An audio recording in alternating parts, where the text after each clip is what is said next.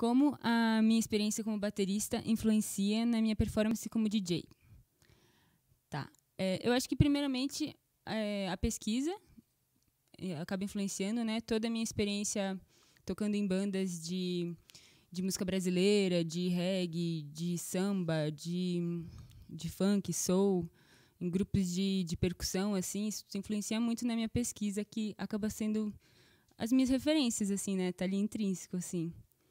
É, e tecnicamente, acaba que eu já tenho muito interiorizado, assim, né, na minha mente, é, os ciclos, tipo, quando que, que acaba um ciclo de uma música, né?